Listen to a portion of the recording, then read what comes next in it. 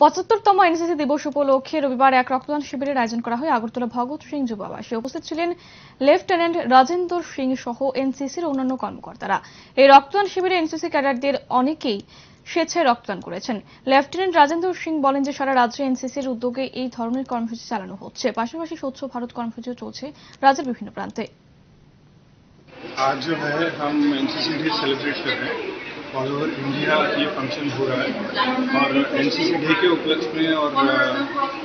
स्वर्ण विजय के उपलक्ष्य में ये एनसीसी ब्लड डोनेशन कर रहे हैं। ऑल ओवर त्रिपुरा, जहाँ जहाँ गवर्नमेंट ब्लड डोनेशन ऑर्गेनाइजेशन है, वहाँ वहाँ ऑल ओवर त्रिपुरा हमें ब्लड डोनेशन कर रहे हैं। और उसके अलावा एनसीसी डे के उपलक्ष्य में और भी हम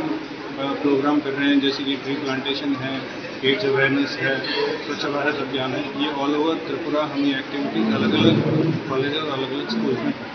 क्या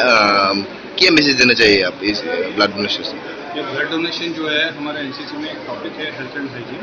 इसमें हम बच्चों को पढ़ाते हैं कि ब्लड डोनेशन के क्या फ़ायदे हैं जिससे और लोगों की जान बच सकती है। ये हम बच्चों को एक मोटिवेशन के तौर पर ब्लड डोनेशन कैंपेन करते हैं। Thank you sir